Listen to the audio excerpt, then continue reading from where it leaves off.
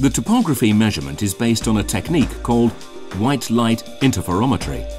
Polytec's scanning white light interferometer is a special type of Michelson interferometer that scans the surface height of the test object.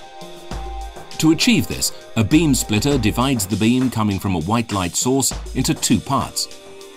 The reference beam is reflected from a reference plane, while the measurement beam is incident on the test object.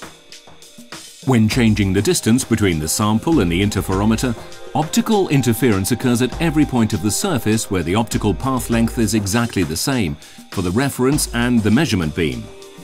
During the vertical scan, the interference patterns are captured by the video camera, while the software computes the topography from this data.